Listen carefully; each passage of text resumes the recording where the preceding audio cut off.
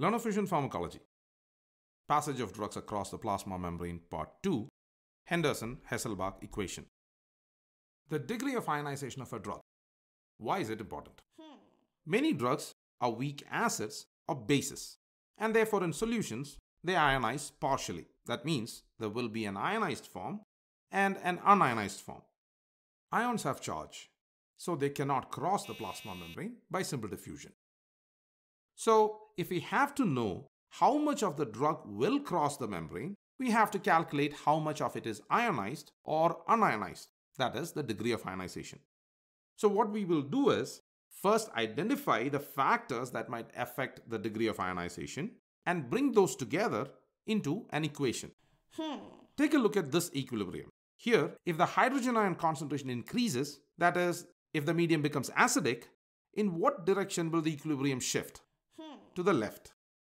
What if the hydrogen ion concentration decreases? That is, when the medium is basic, the equilibrium shifts to the right.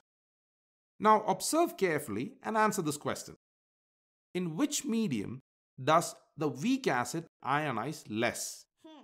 Pause the video if you need some time. A weak acid ionizes less in acidic medium and more in basic medium.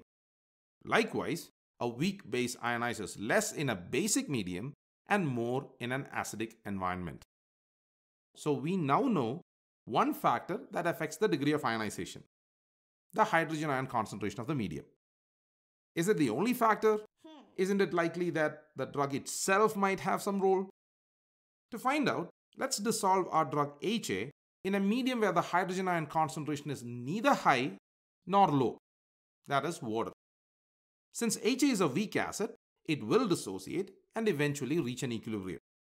This equilibrium will have an equilibrium constant conventionally denoted by K.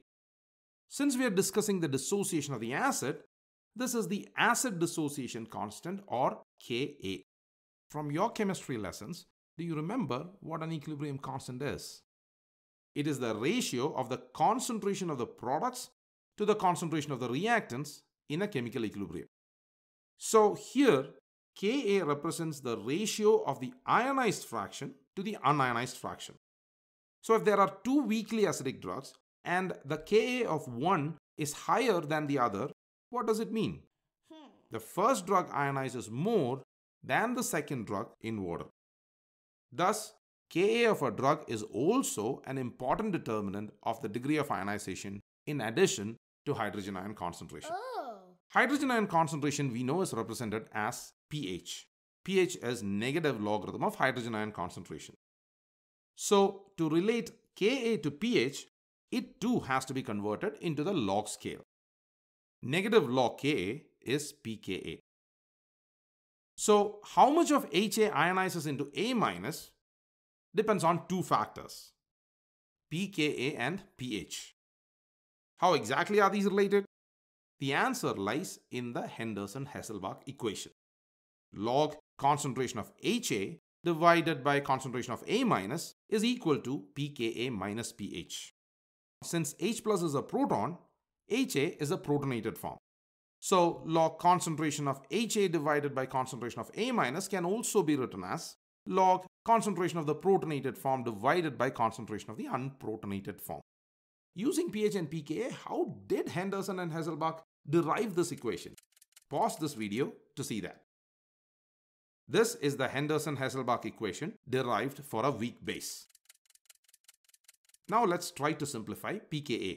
In the Henderson-Hasselbalch equation, if the unionized fraction is equal to the ionized fraction, then pKa minus pH will be equal to log 1. We know log 1 is equal to 0.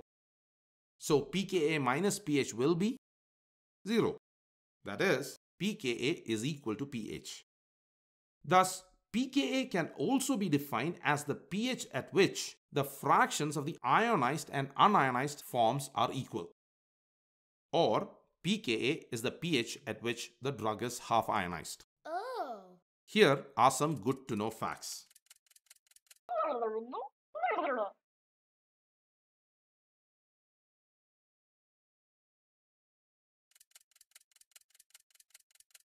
This is a summary of our discussion.